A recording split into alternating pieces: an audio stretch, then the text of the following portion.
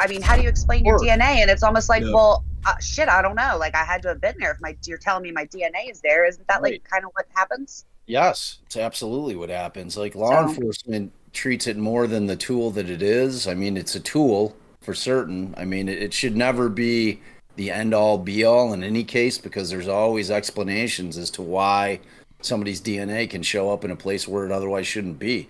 Did you look through this one, Sleuthie, right here? Which one's this one? This is the- this the one? Yeah, the DNA transfer to be placed. It was almost like it was like a a test that was happening here.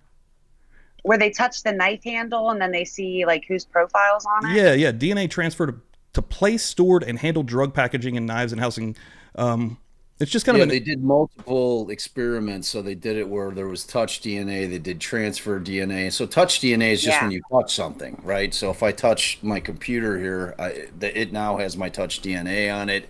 Transfer is where, say, I take the shirt off and I throw it on the fucking bed, and somebody murders somebody, and they leave the knife near my shirt, and then my my DNA transfers from my shirt onto the knife. That's transfer DNA. So they're they're different. Like touches where you actually, you know, do it, and then you know, obviously biologicals where you get it straight from the source. You know, what's Um, I've seen articles where they use them synonymously, touch and transfer.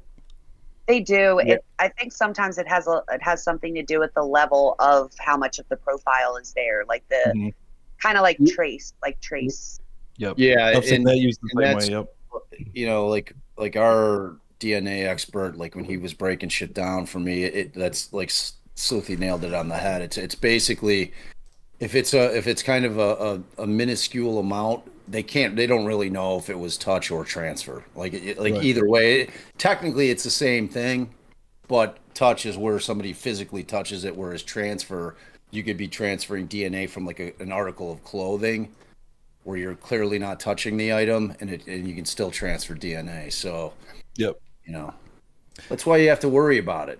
You know, Honestly, DNA reading through this stuff has been trippy as shit. Like, uh, DNA transfer's super easy, man. I mean, we're flaking off fucking hundreds of thousands of particles of fucking dead skin per day. yeah, this You know, article right and here actually kind of shows. Uh, this was one about the dude that Dan was mentioning, but hold on, let me just make it a little bit smaller. But they did Yeah, a, an experiment.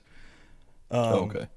Yeah, where they like had a hold on, experiments for the instance. Volunteers sat at a table and shared a jug of juice.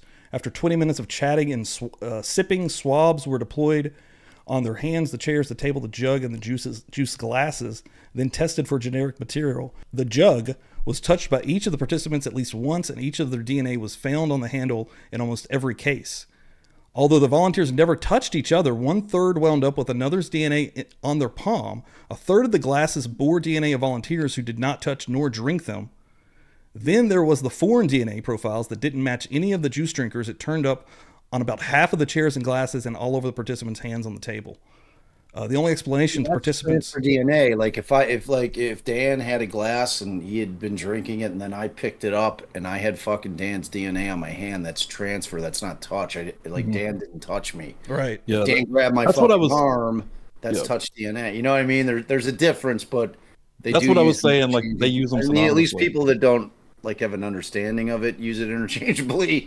Yeah. 'Cause It's they're different things. I mean, they just are. If if you start throwing yourself into this whole conversation and you you will like never touch anything ever like the amount of other people's like when he brought up the skin cells it made me physically ill because like the amount of other people's dna that surrounds you at any point in time is like Mass. way more than you think like Mass. It's trippy. Yeah. Yeah, when, when we get into the Lukis Anderson case, I mean that case should absolutely terrify anyone. It's unbelievable what Yeah, happened. and that's man. this is the article Yeah. that's that's actually from when I scroll back up here, and I hadn't really read deep into that, but it is pretty interesting. Yeah, uh, and dude, this guy's an idiot. Hold on, when the DNA results came back, even Lukis Anderson thought he might have committed the murder. He said, "I drink a lot." He remembers telling public defender uh, Kelly Klu- Klu- It's completely browned out. yeah. he really was. He really. Was You must have been pretty fucked up, buddy. I murdered this person. You know, I had a It's like couple my of drinks. DNA is Maybe I murdered this entire family. I don't know.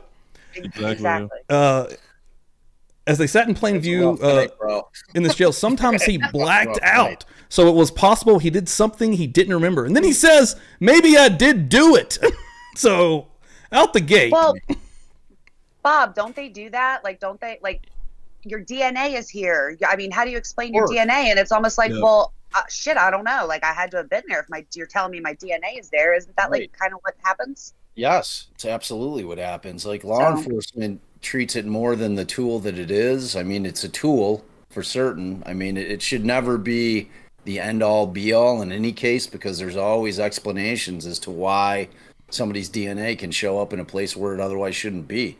You know, so I mean, you, you got to like. That's why they have fucking trials. you know what I mean? That's why. That's why they have trials. That's why trials exist. So that's why I tell everybody to shut the fuck up with coming up with your final opinion before the shit's been vetted at trial. That's the whole purpose of a trial. It's why they exist. It's why the framers of the Constitution had the foresight to say, hey, you know what? Everyone's presumed innocent, and everybody in this country is going to get a trial. And that is going to allow for the evidence to be vetted by both sides. The state wants to produce it, the defense then gets to vet it with their own experts and challenge it. And then whatever the jury decides, that's what they decide based on the evidence they heard, not on speculation, not on bullshit. You know, because like that's the whole thing. That's my whole thing on, you know, on the socials, man. I just like I, I have a very low tolerance for fucking people that that puke their opinions up, which are just that as fact. Like I I, I have no tolerance. Get for you it, down man. the You guys- old Coffindaffer guys know that. road real quick. That's also why they say don't talk to police, right? Because the police will use any, even the most random circumstantial evidence to try to back you into a corner and make you feel. mean, defense attorneys tell you, like I told you, Dan.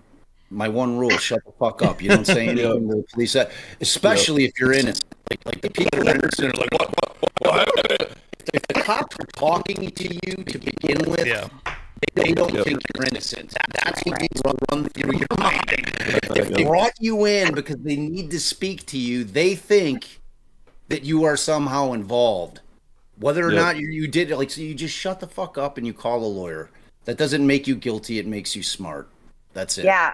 I That's heard it. a, I heard a guy explain it, and it, he explained it really well. And I was like, for someone that wouldn't really understand, and he basically was saying, like, the police, exactly what you just said, is they're they're not talking to you because uh, they think that you might be helpful per se. They're talking to you because they're suspicious of you, and they want to clear that up. And one of Yeah, the things in particular, clear it up. yeah, clear it. We wanna help up, you out. Find We- more, right? And and he said he was like he was like, there's a reason why they say to you that everything you say can and will be used against you. None of it will use, be used to help you. Nothing you say that's helpful to your case will be mentioned at all.